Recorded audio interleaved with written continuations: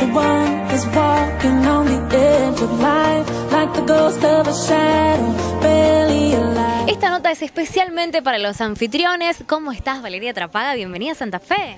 Bueno, muchas gracias. Eh, estoy muy contenta en Santa Fe porque veo que la gente es muy hospitalaria y muy matera. Así que bueno, ha sido un éxito lo que vinimos a hacer acá. Bueno, nuestro programa es guía de proveedores para fiestas y hablamos directamente a los anfitriones, que a veces es eh, más común invitar a un té con amigas, a un café, y en este caso preparar un buen mate con distinta pastelería o quesos, como bien lo maridamos hoy, sí, sí. pero con mate, con un buen mate. Con un buen mate, totalmente. Nada, nada mejor que un buen mate para recibir, para agasajar y además también para que esté presente en eventos. Es algo que realmente se está incorporando muchísimo. Poder poner, por ejemplo, en un evento dos o tres variedades de yerbas mates diferentes para poder conocer, para ir probando con sus estilos, con sus perfiles de sabor.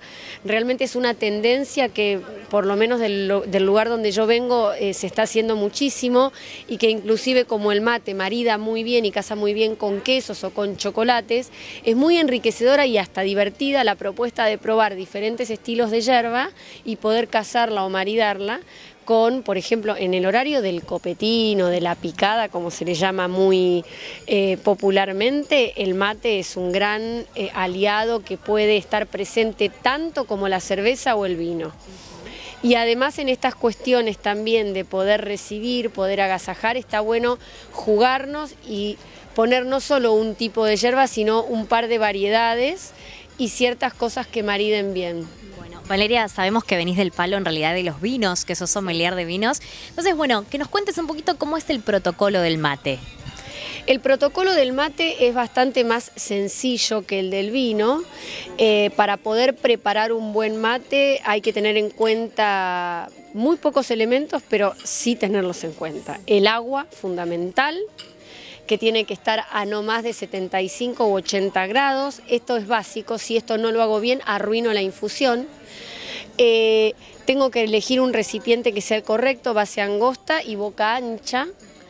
Eh, y tengo que elegir una bombilla que sea curva, que busque la boca, que también esa es la bombilla correcta y que tiene que estar limpia y para que esté limpia la tengo que curar.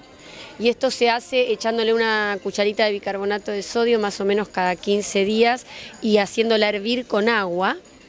Y llenar el mate tres cuarta parte de la capacidad, sacudirlo, dejarlo en forma oblicua y que en la parte más baja, donde prácticamente no hay yerba, echar un chorrito de agua tibia para que el polvo de la yerba mate se hinche. Recién ahí introduzco la bombilla y en tres pasos comienzo a cebar y solo mojo la mitad de la yerba.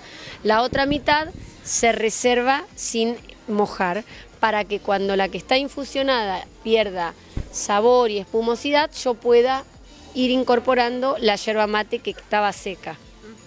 Bueno, y en este caso este, nos enseñaste tantas otras cosas como este, también la cuestión de, de, de sentarlo a la mesa, de maridarlo. De, también lo sugerís para el cierre de algún evento. Por ejemplo, aquí se utiliza mucho la cuestión del catering criollo y por lo general después se sirve también con pastelería bien criolla. Bien criollo. Bueno, el mate es nuestro. Y si hablamos de Argentina, hablamos por supuesto de mate, de dulce de leche, de vinos nuestros y de carne.